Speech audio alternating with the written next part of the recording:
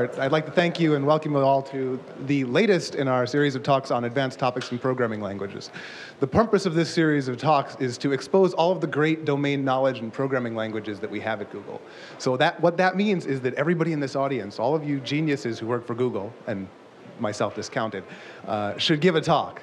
Uh, so please come to me. My name is Jeremy Manson. Email me. Uh, I am me, whatever, and tell me what talk you're going to give, and I will set it up and give you a talk. You don't have to be uh, an author like Josh or some of the people we have coming up uh, in order to do so. Um, Josh, and we're running late, Josh didn't want me to build him up too much and give him a swell head. So I, uh, so I want to introduce him. Uh, I'll just say that in a company full of geniuses, it's his star that shines probably the most brightly.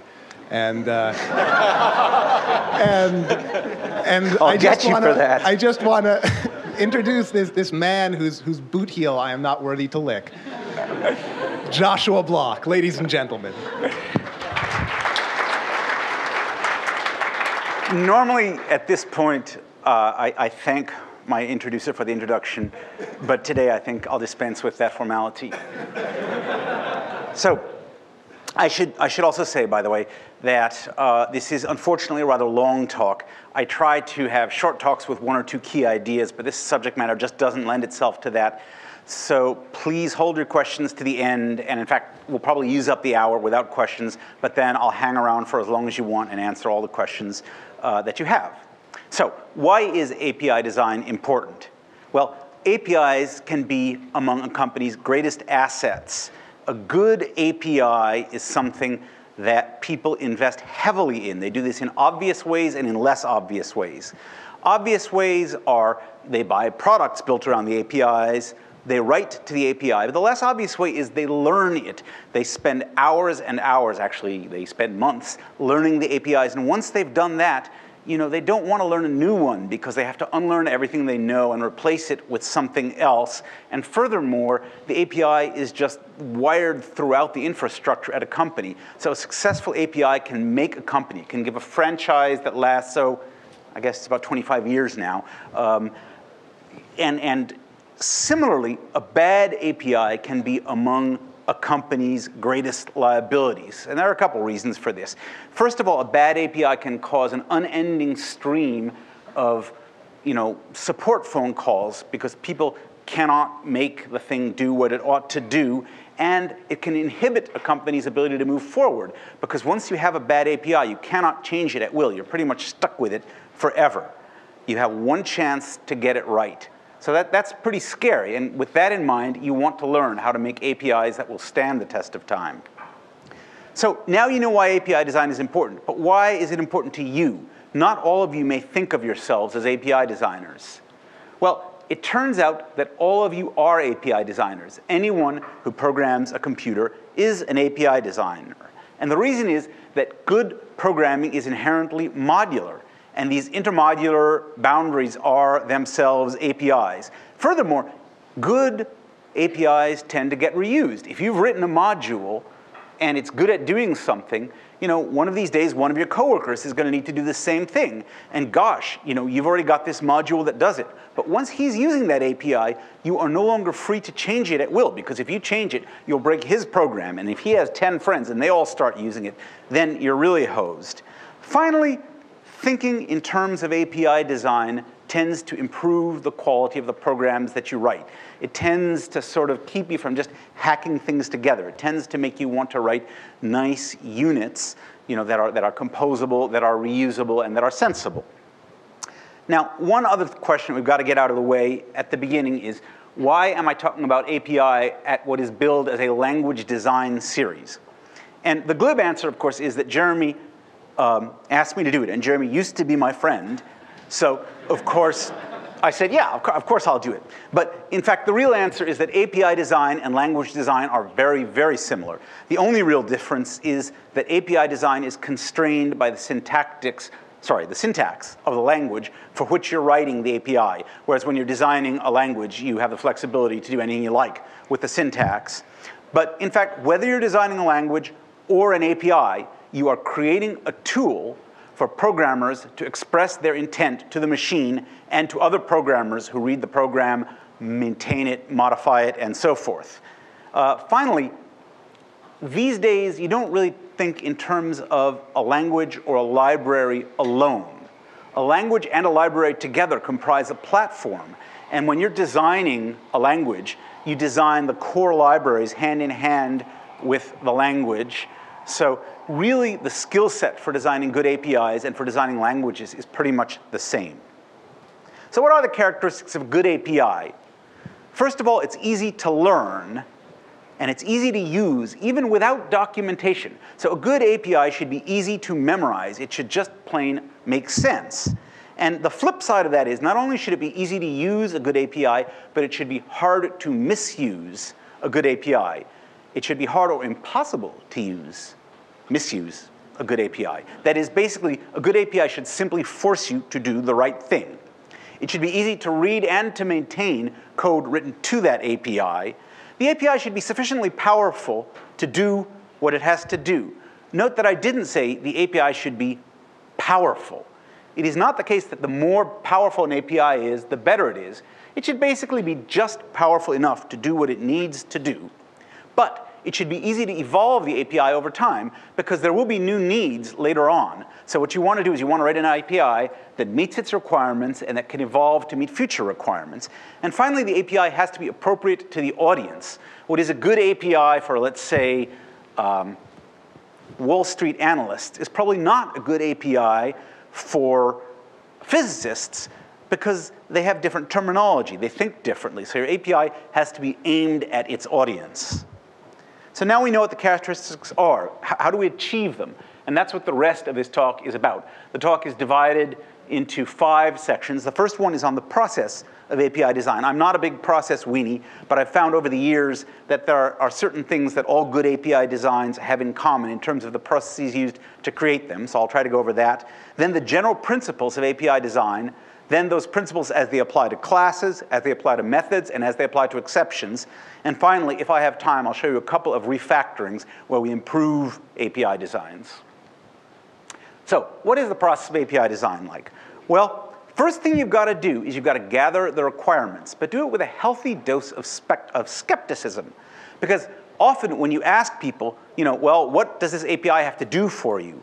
What you'll get won't be a real set of requirements it'll be a set of proposed solutions. And a better solution may exist. So, you know, if someone tells you, let's say, we need to precisely control the garbage collection intervals and the maximum time that each garbage collection can take, you know, that's not really a requirement. I mean, the, the requirement is, you know, we need to be able to run a service smoothly while any garbage collection takes place. How you choose to achieve that is up to you. Uh, your job is to extract the requirements from the, the, the stakeholders in your API, and often it's a real give and take process. Once you've got the requirements, they should take the form of use cases. And by use cases, I simply mean the problems that your API should be able to solve. And these are extremely important because they provide the benchmark against which you can measure any proposed solution. One thing you should keep in mind is that it can be easier and more rewarding to build a more general solution than what you've been asked to do. This doesn't mean you should just say, oh, I'm going to build a framework every time someone asks you to do something. But sometimes the more specific thing is more difficult to build as well as being less powerful. So always keep an open mind when you're, when you're looking at those initial requirements. Uh, let's see, I guess I have um, another example here of, of what they say and what they mean. When they say we need new data structures and RPCs with the version 2 attributes, this actually happened to me at a company called Transarc. You know, when we were kind of upgrading, they said, you know, make a whole new set of data structures and a whole new set of APIs. What they really meant was, we need a new data format that will accommodate all further evolution in the internal data structures, you know, because you don't want to have to make a whole new set of data structures and a whole new set of on-the-wire and on-disk interfaces every time you decide to add a few more attributes to your server. So in fact, I made the system much more dynamic, and we never had to do that again. So you should start with a really short spec. One page is ideal. At this stage in an API design, agility definitely trumps completeness. The worst thing you can do is to send six smart guys off into a room and have them sit there with the door closed for six months and come out with a 240 page specification document. And believe me, this has been done many, many times. It's an awful idea because at that point, first of all, their ego is invested in what they've just done. They're going to build it, even if it's a piece of crap. Second of all, you know, how do you know if it's any good? It's, it's like this big, long, hairy spec. It's no longer agile. If they made a fundamental mistake, then you've got to change all 240 pages of it. But it may fail to satisfy some sort of key requirement that they didn't really understand before they started. So what you want to do in the beginning is have the entire API spec on one page. And this way you can bounce that spec off as many stakeholders as possible. Listen to what they have to say and take it seriously. If they say, no, I'm sorry, this won't do for me because I cannot write such and such a program, think about it. You know, you may say, well, you shouldn't be writing that kind of program. It's a really bad idea. But more likely, you may say, oh, gee, I didn't think of that. This really is important. What if we structure it this way? If the whole thing's only a page long, you can do major refactorings in 10 minutes. If you keep the spec short, it's easy to modify. And you flesh that spec out only as you gain confidence that you're on the right track. And this necessarily involves coding. In particular, it involves coding to the API that you are defining. It doesn't involve implementing the API. It involves pretending it's already been implemented. So what does it look like when you do it right? Well, here's an example that I was writing uh, at about the time that I was putting this talk together for, for OOPSLA some number of months ago. Um, someone wanted the ability to retry a computation in the face of failure. Um, and I said, oh, well, you know, we have this uh, executor framework, otherwise known as the executor framework. And really, all we want here is a retry policy that tells you how you might choose to retry the thing in the face of failure. So, you know, here's a little interface, and it's got a couple of methods. Um, one tells you if a given failure is recoverable. You pass in the exception, and it just gives you true or false. We should try to recover from this one, or we shouldn't. And the second one computes the next delay in terms of the initial start time and the number of previous retries. And by passing in all this data, um, the, the, the actual retry policy can be stateless. So you can have singletons. You can have a retry policy called exponential backoff, but you don't have to store any data in each exponential backoff instance. It really is just a retry policy, and it's called exponential backoff. Uh, and, and that's kind of all there is to that one. And this isn't really very complete. This is not, you know, a spec of a quality that I could use for JavaDoc. It's not a spec that someone could use to implement to, but it's a spec that's good enough for someone to look at it and say, yes, it does do what I need or it doesn't. The rest of it's on, on another slide here. Um, this is a set of uh, uh, uh static utilities that let you actually use retry policies. So what can you do? Well, the first thing you can do is you can pass in an executor service and retry policy and get a retrying executor service. It implements the same interface, which is executor service. So if you already know how to use an executor service, you know how to use the retrying executor service. And that's great, by the way. That's a good way to keep the sort of the conceptual weight of an API small. Use interfaces that have already been defined. In this case, executor service. Um, and what else do we have? We have another kind of a retrying executor service uh, what, what are the differences between the first two? Um, I haven't looked at these for a while, so I apologize for that. Um, anyway, doesn't, doesn't matter. Uh, and then we have a couple of wrappers, one of which takes a callable and returns a retrying callable, one takes a runnable, returns a retrying runnable. And then we have a couple of examples of the retry policies themselves. Uh, these are static factories. We have, if you want an exponential backoff, you get one. And these are the parameters that describe your exponential backoff. What's the initial delay, uh, in what unit, you know, 10 seconds, 100 milliseconds, whatever. Um, and then uh, the, the timeout, um, which I'm not sure what that means. So by the way, this is actually interesting. This tells me this wasn't quite good enough. You know, what I wanted to show you is that something that's really simple, that fits on a slide or two, is enough to communicate your intent and enough to sort of figure out whether it's good enough and, you know, try it out. Um, and, and I think the answer here is it's almost good enough, but not quite good enough. Um, I guess the timeout probably is the overall timeout. Like, after how long of trying and retrying do you finally give up? But I think it should have said that somewhere on, on this. Uh, but anyway, you, you get the idea. The idea is that this is a very small description of an API, but it's big enough to find out if it's good enough to do what needs to be done. And if it's not, it's easy to modify it. You should write to the API early and often. Of course, you should start before you've implemented the API, because this saves you from having to throw away an implementation of a bad API. You know, if you, if you first specify it, then implement it, then try the implementation and decide that the API was garbage, well, you've wasted lots of time implementing it. And as I said, you should start before you've even specified it properly, because that saves you from having to throw away detailed specifications for broken APIs. You should continue writing to the API as you flesh it out, and this is important. Some people sort of stop writing to the API about halfway through the process and just go on this death march to implementation. The problem with that is you get nasty surprises about a week before you ship when you try writing to it again and you find that, you know, oh my gosh, it, it actually doesn't solve this important case that we thought it solved. And some people worry. They worry that, you know, all this coding to the API is a waste of time when they should be implementing it. But that nothing could be further from the truth. Those initial pieces of code that you write to any API are among the most important pieces of code that you'll ever write to it. The code lives on in the examples that you publish for how to use the API, and those examples tend to get emulated heavily. If you get them right, you've seeded the market with good uses of your API. If you get them wrong, conversely, you know, you, you've ensured that there will be broken programs floating around the web for the next 10 years. And I, I, used to you know, believe this with all my heart and soul, but now I actually can point to a, a proof of it. It turns out in last OOPSLA there was a, a paper published called Design Fragments by Fairbanks, Garlan, and Scherlis uh, from CMU, and they actually traced mistakes in the original applets that were shipped out with um, you know, the, first release of Java into broken concurrent programs, thousands of them that still exist on the web today. So, you know, the, the, way I put this is example programs should be exemplary. There's a reason they call them example programs. And the programs that, the first programs that you write to an API as you are fleshing it out invariably become the example programs. You know, so, so you know, my rule of thumb is you should spend 10 times as much time on every line of example code as you do production code. That may sound backwards to you, but I really believe it. Writing to an SPI, that is a service provider interface, is even more important than writing to any other kind of API. Um, you, you all probably know what SPIs are, or maybe you don't. Um, if you know what an SPI is, raise your hand.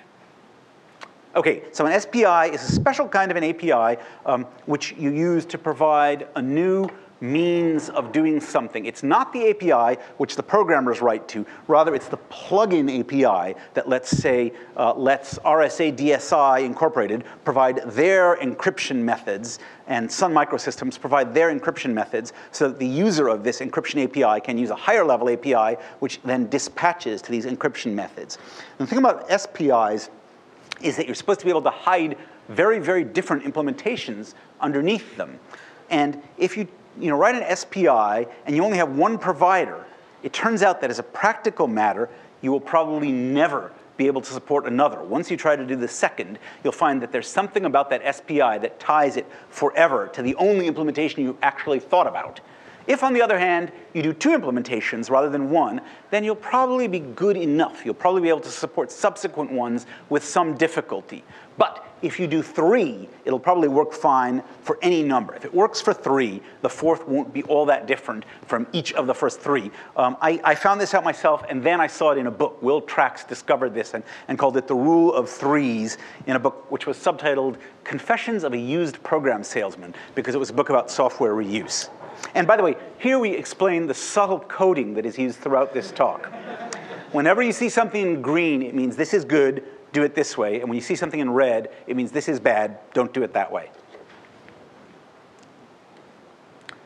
you should maintain realistic expectations throughout the process of API design. It turns out that most API designs are overconstrained. People want them to do more than they can possibly do, so you are going to have to make compromises. You cannot please everyone. If you try to please everyone, you come up with a pig. You come up with big, nasty APIs that no one will ever be able to use properly. So what you should do, and this may sound strange, is you should aim to displease everyone equally.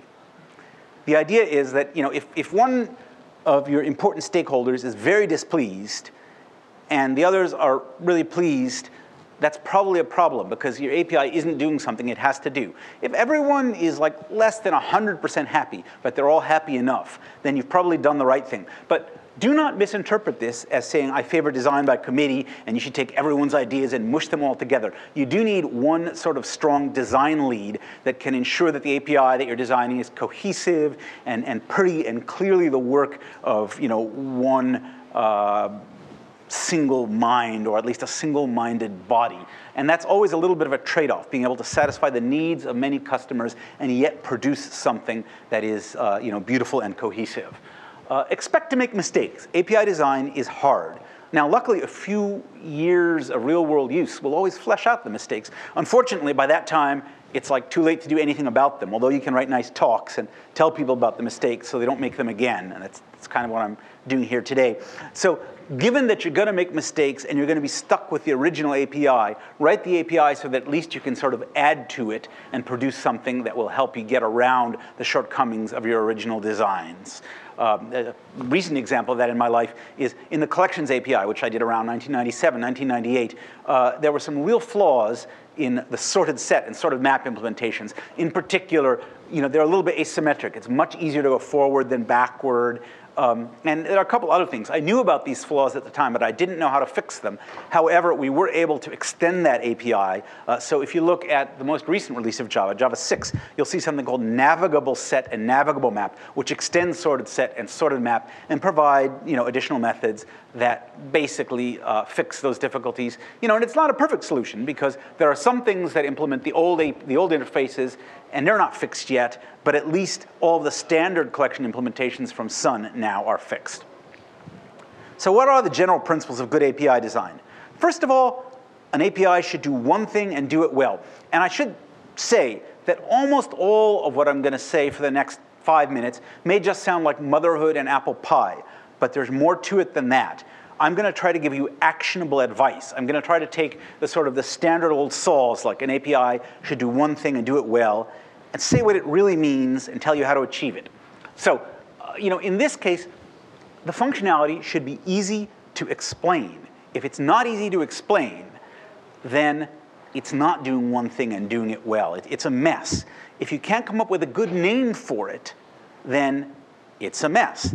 The names are the API talking back to you, so listen to them. When you try to name those methods and those classes, you know, if you come up with a really complicated name like dyn any factory operations or underscore binding iterator impl base, which you know, actually violates the, the naming conventions of the pattern, platform, sorry, encoding CDR endcaps. You know, clearly you've got problems. Any API that contains this sort of stuff is a mess. Or what about this? OMG VMCID. I know OMG is oh my God, but I can't, I, I can't figure out the rest of it. And by the way, lest you think I'm just making this stuff up, all of this comes from an actual Java platform API, and I won't tell you what it is except to say that it's Corba. Um, good API names are like font. Yeah, I know what a font is. Sure, you know, it's like it's italic or bold or whatever. You know, a set, I know what a set is. A private key, a lock, a thread factory. These things are, you know, they instantly communicate what they are. And the, the, methods, you know, the classes, all, all, of them should be like that. Looking at them, you know, it should be clear what they are. And good names drive good designs. You know, once you have something that's called a set, you know what the operations are. You insert things from sets, you remove, you test from, for containments. So, so good names drive good designs, and bad names are an indication of bad designs. So listen to those names speaking to you. And if, if you just can't get it to work out right, then you're probably not trying to build something reasonable. So always remain amenable to splitting a module up if you're trying to cram too much into one module, or to putting multiple modules together if you're trying to expose sort of internal details that ought to be hidden. Maybe you should just make a bigger module that, that hides some of those details. An API should be as small as possible, but no smaller. This principle is usually attributed to Einstein, although I, I looked really, really hard, and I don't believe he ever said it. I, I believe that it's, you know, he probably believed it, but he didn't say it. At any rate, the API should satisfy its requirements. And if you only remember one thing from the talk today, please remember this. When in doubt, leave it out. That applies to everything. It applies to functionality, to classes, to methods, to parameters within a method, anything. If you have any doubts about whether to include something, leave it out. You'll probably be able to add it later, but you most certainly will not be able to take it out once you've put it into an API. Once you put it in, people will be using it. If you take it out, they will scream bloody murder. So if you ever have any doubts about whether to include something, leave it out. And if that's all you take away with you from today's talk, then uh, I think it's been worth your hour. Um, of course, that's just my judgment. Anyway, the, the, the, when you're thinking about the size of an API, the conceptual weight is more important than the bulk. By bulk, I mean the number of methods, the number of classes, the number of parameters. What's really important is the number of concepts. When I'm learning this API, how many different things do I have to learn about? And there are a number of ways to, to decrease the conceptual weight of an API. Um, the most important one is reusing interfaces. So for example, if you look at the, the, collections framework, there are many implementations of the set interface, you know, whether it's tree set, the, the original ones were, you know, hash set, tree set, and, you know, then we added linked hash set, and more recently a whole slew of concurrent set implementations. You don't have to learn any new APIs. You learn the set API, and we can add new functionality you know, we can add richness without making you learn any new APIs. So that's one of the great ways to increase the power to weight ratio. That's, that's the important thing. You want to be able to do a lot without learning a lot. The implementation shouldn't impact the API. Once again, this is motherhood, but what does it really mean? It means don't put any implementation details into the API. They confuse the users and they inhibit their freedom um, to, sorry, they, they inhibit the implementer's freedom to change the API later. So, you know, for example, let us say, if you have some API that's about phone numbers, but it throws SQL exceptions, and now you want to re-implement it on top of some proprietary data store rather than a SQL data store, but your clients are already trying to catch the SQL exceptions, you know, what do you do? Well, you can emulate those old SQL exceptions, but that's crazy. So that means that you should make sure that the exceptions that you throw are kind of at the same layer of abstraction as the, the, the rest of the API is. So that's just one example where implementation details kind of leak into APIs. The important thing is you have to be aware of what actually is an implementation detail. Um, you, you don't want to overspecify your methods. You don't want the specification of a method to involve something that is an implementation detail and that you would like to be able to change later on. So here's an example where we did that. Don't specify your hash functions. You might think that you know, exactly what value is returned by the hash code method is a proper part of a spec. But it isn't. It's an implementation detail. The spec should simply say it returns an integer, and you know, with high probability, the integer will differ for two different objects, and furthermore, it should be cheap to calculate the thing. But exactly what number is returned, you should have the flexibility to change that from release to release as you learn about flaws in your old hash functions, and as the technology improves and hash functions improve. Of course, you cannot do that if you are writing a persistent data store. If those hash functions are going to be used to store data on disk, then they can't change. But that's a very special kind of hash function. Those ones must be specified, but the great majority of hash functions out there shouldn't be. And, and we got this very wrong in initial releases of Java, and unfortunately that tradition has stuck to the point where almost all of these hash functions are specified, but they really shouldn't be. Finally, you shouldn't let the implementation details kind of just leak into the API. The example I gave you before with uh, uh, uh, an exception is an example where you know you didn't really think hard about it and say, oh yeah, you know we should maybe throw a SQL exception here. You probably just wrote it and you realized, gee, I'm calling something that throws a SQL exception, so I have to propagate it out. That's a case where an implementation detail is just sort of leaking. Another example, a really nefarious example in Java, is if you simply say, implements serializable. Once you've done that, your entire implementation has just sort of leaked out as part of your API because the serial form consists of all of the fields that comprise your object, even your private fields. So all of a sudden, the private fields are part of a public API, and that's really, really bad. And, and, and the way around that, by the way, is to design your serial forms carefully. Don't just say implement serializable. You should minimize the accessibility of everything. That means you should make your classes, your members, your fields, all as private as possible. Uh, one specific case is that public classes should have no public fields with the exception of their constants, um, which, which, aren't really fields. Um, this maximizes what they call information hiding. Uh, Parnas is the guy who came up with that term. And it minimizes, minimizes the coupling between APIs. You know, if things are kind of hidden behind intermodular boundaries, they can be changed freely, and this allows modules to be understood, to be used, to be built, to be optimized, debugged, tested, and what have you, individually and in parallel. So you could have multiple teams you know, dealing with multiple APIs concurrently. If, on the other hand, the APIs sort of expose everything and, and each you know, module is sort of messing around with other modules, then there's very little that you can do to any module without affecting a whole slew of modules around it. Names matter a lot. There are some people who think that names don't matter, and you know, when you, you sit down and you say, well, this isn't named right, they say, don't waste your time, let's just move on, it's good enough. Uh-uh. Names in an API that are going to be used by anyone else, and that includes yourself in a few months, matter an awful lot. The idea is that every API is kind of a little language and people who are going to use your API have to learn that language and then speak in that language. And that means names should be largely self-explanatory. You should avoid cryptic abbreviations. So the, the original Unix names, I think, failed this one miserably. Um, you should be consistent. It's very important that the same word means the same thing when used repeatedly in your API and that you don't have multiple words meaning that same thing. So let us say you have a remove and a delete in the same API. That's almost always wrong you know, what's the difference between remove and delete? Well, I don't know. When I listen to those two things, they seem to mean the same thing. If they do mean the same thing, then call them both the same thing.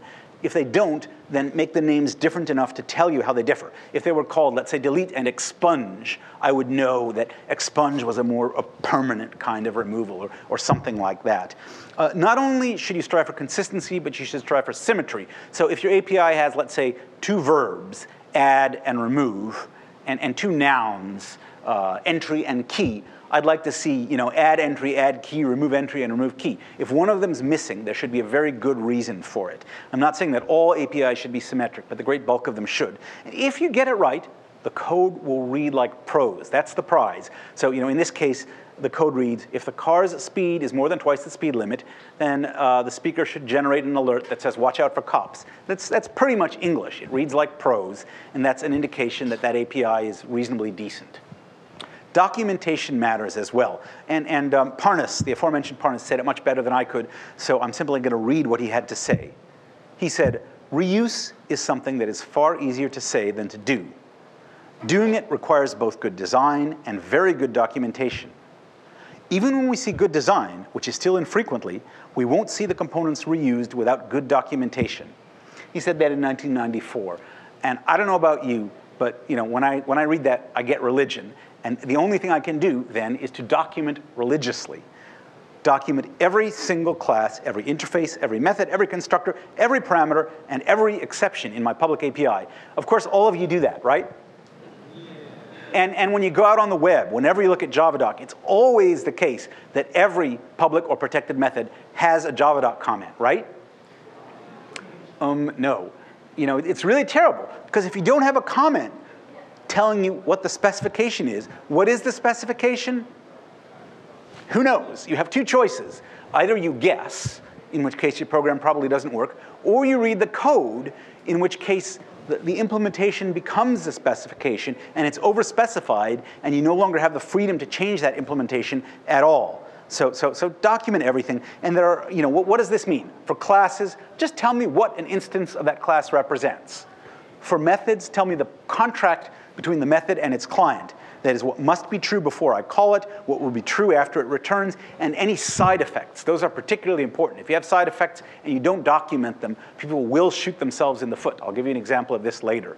Uh, for parameters, people often forget. Don't just say mm, the size of the block. It's the size of the block in bytes or in megabytes or whatever. You've got to tell me what the units are, the form, if it's a string especially, I've got to know, is it XML, you know, what, what form is this string in? And finally, the ownership. If I'm passing an object into an API, do I still own the object? Am I free to modify it after I've passed it in? Or have I transferred ownership from myself to the, the object to which I've passed that other object? If the thing that you're defining is, immu- is, is mutable, that is, can be modified, then you must document the state space very carefully. Uh, if you have a badly documented spa- state space, then you have no hope of being able to use that API properly because people won't know when it's legal to call what and what will happen after the call is made. Um, I, I, may discuss this elsewhere, but an example of, of how to do this very badly um, are, are, date and calendar, in particular the calendar API in Java. Um, the state space is almost undocumented, and it's caused numerous bugs over time. I'm happy to say, by the way, that um, just, just days ago, um, Sun decided that, that we would be pursuing a new JSR to improve the date and calendar APIs based in part on, on Joda time and who knows what all else. But so may, we may finally be you know, free of that mess. You should consider the performance consequences of your API design decisions. And this is funny because this tends to you know, contradict the advice. You've all heard that you know, premature optimization is evil. In fact, I have a whole essay about that in, in effective Java. However, that doesn't mean you can just ignore performance. Jon Bentley was big on, on this fact. And in particular, it turns out that bad API decisions can limit performance. Examples of things that can limit it are making a type mutable when it should be immutable, or vice versa, uh, providing a constructor instead of a static factory, um, using an implementation type in an API instead of an interface, which means that people always have to use that particular implementation, even if a better one comes along later. Um, but the, the converse of this is never warp an API to gain performance. Every once in a while, you have something that's sort of temporarily broken. You know, this thing is slow. And in order to avoid this slow thing, you break your API. The thing that used to get slow becomes fast, but your API is still broken.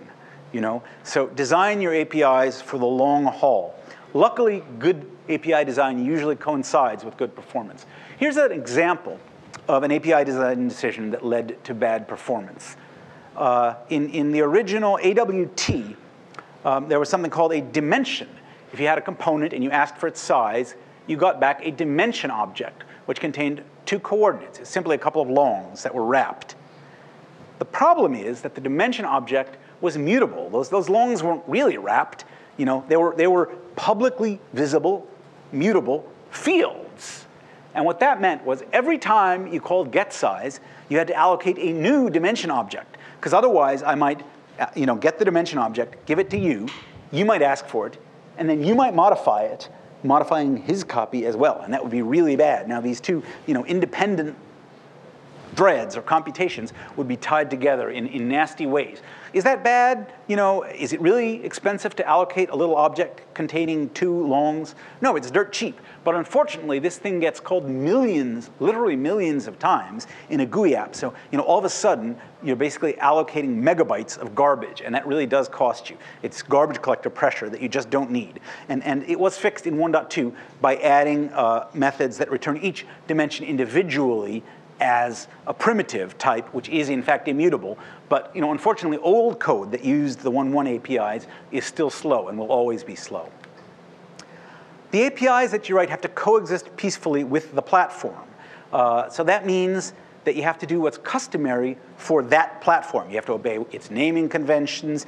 You have to avoid anything that's just verboten in that platform. You know, whatever it is, if you're in Java, you know, if you're in C++, everybody knows there are certain things you just shouldn't do or shouldn't use. So learn what those things are and then avoid them. And, and there, are, there are generally books that tell you the traps and pitfalls for every platform. Um, I, I, could recommend one for Java, but you know. Anyway, um, the, the, the thing you've got to do is mimic the patterns and the core APIs in the platform. Because everyone who uses a platform knows its core APIs. So if your API feels just like one of the core APIs, then everyone, because they already know how to use the core API, will already know how to use your API. It's as simple as that. And the, the, the real trap here is you should never simply transliterate APIs. That is the worst way to design an API. And what do I mean by that? Suppose you have a C++ API and you want a Java version of the same facility. What you should not do is take every C++ class and make a complementary Java class that contains all the same methods as the C++ class, because what was reasonable in C++ will almost certainly be unreasonable in Java, and vice versa. So you have to basically take a step back. You have to say, what is this class doing, and how would I do this in Java? That's the right way to do it. Transliterated APIs are almost always broken. Okay, on to class design. I have 15 minutes to finish the whole rest of the talk, so it gives me five minutes each for the next three sections and zero minutes for the last section. So, first of all, minimize mutability. Classes should be immutable unless there's a very good reason to make them mutable. And the advantages are that the classes you get are simple, they are thread safe, they are instances of them are, are reusable. You never have to generate a new one. Um, the, the only disadvantage is that you need a separate object for each value. So if you have a huge object, let's say uh, a big integer that's a million digits long, and you want to throw it away, but you just want to change a last bit, if it were mutable, you, you could do that in place you know, at virtually no cost. But because they're immutable, you have to basically copy a megabit of data and then throw away the old megabit, which is a little bit unpleasant. But if you do have to make things mutable, and, and, you often do, you should still make them as immutable as possible. You should give them a nice, small, well-defined state space. You should make it clear should, you should make it clear when it's legal to call which method. So bad examples, as I mentioned before, are date and calendar. Calendar has these, you know, like the roll method, and when you, you know, you, you, put a date into it, who knows what state is behind it, when it's legal to call what, what state the calendar is in after you've used it, and you know, did you know that when you're using a date formatter, if one thread uses a date formatter and another thread tries to use it at the same time, both threads are hosed. You know, kind of it feels like an immutable object, except that it has state inside it. You can't read that state, but it's there. You know, so these are these are things that are more mutable than they should be. A good example is timer task. It's not immutable, but it minimizes mutability. In particular, a timer task is inherently mutable because it represents an actual occurring computation, and that, that, that mutates. But, you know, a timer task, what do you do? You create it, you schedule it, it runs as many times as it has to run, and then it's dead. It's gone. End of story. You know, there were people who asked us when we were designing the timer API, we want to reuse them. You know, it's like expensive to make a timer task. And the answer is no, let it die in peace. If you need another one, make another one. But by eliminating that sort of loop from the state space, you, you make the API much simpler and much less bug prone. You should subclass only where it makes sense to do so. This is the Liskov substitution principle, and it's actually very simple. You just have to ask yourself a question. When you have two classes in a public API, and you're thinking of making one a subclass of another, like foo a subclass of bar, ask yourself, is every foo a bar? If you can answer that with a straight face, then make it a subclass. If not, don't. So a bad example is in Java, properties extends hash table. Is every properties object a hash table? Heavens no. A properties object is a special thing that maps certain strings to certain other strings. So every properties object has a hash table, Perhaps. typically, it's implemented atop a hash table, but you, you can't answer that is a question with a straight face. Or what about stack extends vector? Is every stack a vector? No, you push and pop on stacks, and that's pretty much all you do to them. You might also have a peek method and a size method, but you know, a vector allows um, random access, accessing by index. A stack doesn't, so it was really wrong to have stack extend vector. And the really bad thing about it was they took away a great piece of real estate. We can't use the name stack for a class that actually does implement a stack anymore because the name's been taken. Good is set extends collection. Is every set a collection? Yes, it really is. A set is just a special kind of collection. It's a collection that does not allow duplicate elements. Uh, this is a, a, fairly controversial one, but I believe that you should design and document uh, a class for inheritance, or else prohibit it outright, make the class final, or have no publicly accessible constructor. And the reason for that is that inheritance violates encapsulation in, in, in a subtle way. Um, and that, that is to say that subclassing violates encapsulation in the way that mere method invocation does not. This is sometimes called the fragile base class problem, where basically if you have one class that's implemented atop a second class, and you override a method in the first class, it may modify the behavior of other methods in the subclass because the original implementations of those methods dispatched to the method that you just overrode. And then if in a future implementation of the superclass, they re-implement all of these methods so that this method no longer is implemented in terms of this one, but both of them are implemented in terms of some third method, then you know, this, this um, new version of the superclass will break the subclass. And the way to avoid that is either come clean on exactly how every method uses every other method. That is, document the self-use patterns of a class. If you've done that, then you've documented it and designed it for inheritance, so it's okay to make it non-final. Otherwise, it could just be final. Now, if you look at the Java API, we got this wrong in many places. So most of the concrete classes in the J2SE libraries, in particular the concrete collection classes like hash map and hash set, they're all non-final, but they don't exactly define their self-use patterns, so they're a bit fragile. Abstract set and abstract map and the other abstract XXX classes are good. They really are designed and documented for inheritance. Okay, on to methods. So this is, if you remember only two things from the talk today, this is the second thing. By the way, what was the first thing I told you to remember? Excellent. When in doubt, leave it out. The second one is don't make the client do anything the module could do. Those two things are like the fundamental rules of API design. So the worst thing you can do is write an API that just requires the client to call in and out and in and out, just doing repeated calls, passing junk from the first call to the second call. Uh, this, this causes boilerplate code, which as you can see, it's red. It's really, really bad. Why is boilerplate code bad? Because it's an opportunity for bugs. You make boilerplate code by doing cut and paste and then modify. But if you don't do all the modification that you should, it may still compile, but it won't do the right thing. It is ugly, it is annoying, and it is error prone. And here is a real live example from the W3C's DOM API. Um, suppose you have in hand an XML document and you want to print it to an output stream. That's a very reasonable thing to do. It should take one call, you know, print, takes an output stream, and you're done. But it doesn't. Here's what you actually have to do. First, you have to import, in addition to w3c.dom, that's fine, and java.io, you also have to import XML transform, XML transform.dom, and XML transform.stream. Why? I don't know, but I do know you have to do it.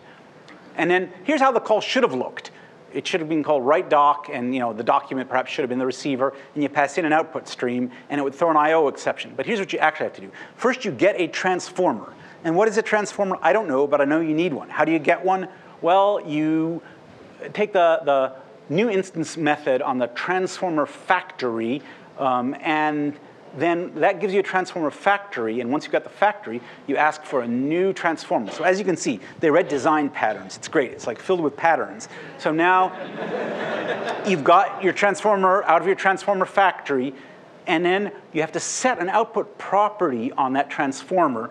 Um, you have to set its doc type system to be the doc type from the doc. Um, I don't know what any of this means, but I know you have to do all of it. And then you have to get the system, oh, system ID, uh, and, and you have to, that's part of this output property that you're setting. And then when you're all done, you can actually do the output. The way you do that is you call transform on the transformer, and you don't just pass in the doc source, because that doesn't implement the right thing. You use the adapter pattern here to take your, your doc and you turn it into a DOM source. And then also you can't quite just pass in your output stream. You, you, you wrap it in a stream result. And now you get your output, right?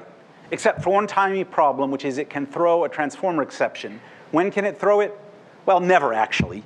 But the API says it can, and it's a checked exception, so we have to catch it if it gets thrown, and then we throw an assertion error, because it can never happen. So, you know, you've got like whatever it is, six lines of just unreadable garbage code to do something very simple. If they had started with a use case, people might want to print their XML documents. you get the idea. Uh, another general rule when you're designing class uh, uh, methods is don't violate the principle of least astonishments. The user of an API should never be surprised by its behavior. It's worth extra implementation effort. It's even sometimes worth reduced performance not to surprise the users of your API. Because if you surprise them, what will happen? They'll simply do the wrong thing. They'll think it does something, it'll actually do something else, and their program will be broken. Here's a real example from the thread API in Java. Um, so we have this method called interrupted. You got a thread and you want to check if it's interrupted. You call thread.interrupted. And what does it do? Well, it tests whether the current thread has been interrupted. Oh, and by the way, it clears the interrupted status of the current thread. That's just like a little side effect. It clears the interrupted status of the current thread. Looking at the name, you know, thread.interrupted, there would be no way to guess that it does this, but it does this. And many people have, you know, spent hours chasing bugs because of it. You know, what is the primary thing that this call does? it clears the interrupted status. It's not an unreasonable call, but it should have been named clear interrupt status. And by the way, it could have returned the old interrupt status as a favor to you. But they named it based on sort of the second most important thing it did instead of the first most important thing it did. And in doing so, they violated this principle of least astonishment. You should fail fast. Whenever there's an error, you should tell the user of your API as soon as possible after the error has happened. Ideally, you should tell them at compile time, you know, because this way it happens in the lab or in, the, you know, here where the program is being written instead of out in the field where the program is being run. And that means that I believe that static typing is a very good thing. It moves errors from runtime to compile time. I understand that this is another um, um, um, highly controversial topic, but uh, I do believe it. You know, I, have seen it happen. You know, for example, when we increased the static typing in Java by adding generics, I found bugs in pre-existing code. You know, because it forced me to be more specific about the types that were expected, and it told me where where things were wrong. Um, if you are only going to be able to find out an error at runtime, you want to find out the first time you do something wrong. Like if you pass some garbage into something else, you should find out as soon as you pass the garbage in, not 10 minutes later. Here's an example of how not to do it. In, in, in the aforementioned properties class that extends hash table, if you look at the spec, it says a properties instance maps strings to strings. But if you look at this put call, it takes an object key and an object value. Any object, maybe a string, maybe something else. But it tells you right away if you pass in something that's not a string, right? Oh, if only it were so. It doesn't, in fact, tell you right away. It lets you put in any garbage you want, and then 10 minutes later, when you try, when you call the save call to an output stream, which basically takes this properties object and translates it into some garbage that isn't quite XML, then and only then does it blow up with a class cast exception because you put something wrong into it 10 minutes before. But by that time, debugging becomes almost impossible. You don't know where the call was that put the garbage into your properties object. You should provide programmatic access to all data that is also available in string form. This is really important. Whenever you have a method that returns something as a string, you should also have a method that returns the same stuff in programmatic form. If you don't do that, then clients will have to parse the string. Not only is that a pain in the butt, but it turns the string into a de facto part of the API. You can never add information to that string because there's code out there that's parsing that string. And if you change the format of the string, you break that code. So what you should do is along with the API that gives you the printable string, you should have other APIs that give you access to the, excuse me, to the actual information and this way, you can add more information to the string later. And in fact, the spec should say that you are not specifying the format of the string and that anyone who writes code to parse the string is taking their lives into their hands. So, uh, you know, a bad example is initially the only way to get the stack trace in Java was to call this get stack trace, uh, sorry, um, print stack trace API. And people actually did go parse those things. In 1.4, we finally added a get stack trace API that, that gives you all the same information, a stack trace element consisting of the file name, the line number, the class name, and so forth. But this was a case of sort of the horse had already left the barn. You should overload with care. Method overloading can be a good thing, but it, it, tends to be overused. You should avoid ambiguous overloadings, that is, multiple overloadings that can do different things when passed the same values. Um, and, and a, a, bad example, which I am guilty of here myself, is tree set has two constructors, one that takes a collection, one that takes a sorted set. The first one ignores the order of the thing that was passed in. The second one says, gee, I'm making a tree set out of another sorted set. I might as well order it in the same way. Well, here's the problem. If you have a sorted set, that's cast to a collection, then you're calling this constructor and you get one result. Whereas if you don't cast it, if you just pass it in, you get another result. So I really should not have done that way. I should have done a dynamic test. If the thing was instance of sorted set, then I should have preserved the order. Uh, so you know, the, the, the, basic rule here is just because you can doesn't mean you should. Often it's better to simply give something another name rather than overloading. Overloading can be a real trap. You should use appropriate parameter and return types. Uh, that means you should favor interfaces over specific classes. You should use the most specific possible input parameter type. If you accept, let's say, a, a collection, but you'll blow up unless somebody passes you a set, That's broken. You've just taken something that could have been caught at compile time, and instead you're catching it at runtime. Here's a really sort of a, another trap. Don't use a string if a better type exists. In these days of you know, XML and web services, people always start off with strings. Strings come in over the web. Just because it started as a string doesn't mean it should stay a string. You should turn it into something more reasonable and leave it there. A really bad example of this that I saw in, in a program years ago was a program that passed around a string for its whole duration of its execution that was either yes or no. Uh-uh. We have a good data type for that. It's called Boolean.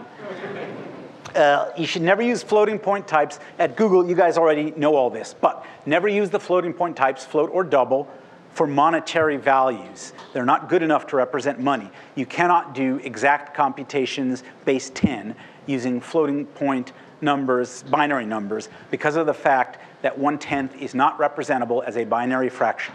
So don't do it. If you have uh, you know, an amount of money, use big decimal, perhaps use long, big integer, what have you, but do not use float or double. And when you're faced with the choice of using float or double, you should almost always use double rather than float, because uh, you, typically double will run just as fast, and you, you know, you, you, you lose real and important precision by going down to float. Uh, let's see, I'm gonna have to just run through the rest of this. This one is really important. Use consistent parameter ordering across methods. So, you know, here's an example of what not to do, a real example from Unix. We have two methods to copy data. One is called strncpy, one is called bcopy. The first one takes a destination, a source, and a size. The second takes a source, a destination, and a size. So what happens, you know, if somebody assumes one ordering when they call the other method, they clobber their source data with whatever garbage was in their destination array. And how long does that take to find that bug? Probably a really, really long time. This is particularly important when the types of the two parameters are identical, because if you switch them around, you will not know at compile time. Uh, good examples here are in java.util.collections, the first value is always the collection being mutated or, or, or uh, manipulated. Uh, similarly, in util concurrent, when you have a, a, an amount of time, you always specify it as a delay followed by a time unit, never the other way around. And even if it were the other way around, the compiler would tell you because these are strong types that, that are incompatible. A long and a time unit are two different things.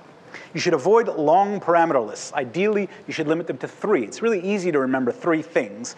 Especially, you should avoid long lists of identically typed parameters because of the problems that I told you before. If you get the order wrong, you're hosed. So here's an example of what not to do. This is um, from the Win32 API to create a window. You know, if you look in the middle of these, whatever, 15 parameters, you see int x, int y, int n width, int height. So here's, you know, a whole string of ints. And by the way, some of these other things are also ints, just int by another name.